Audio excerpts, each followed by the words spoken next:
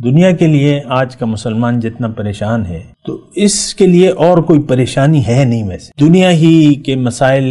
इसकी नज़र में अगर हल हो जाएं इसकी तबीयत के मुताबिक तो ये कहते हैं मैं बड़ा खुश होऊंगा आराम से होऊंगा ऐसे बात नहीं है जाहिर में मादे में सुकून नहीं है सुकून अल्लाह की याद में है और अल्लाह की याद की बुनियाद कलम तयबा है कलम तयबा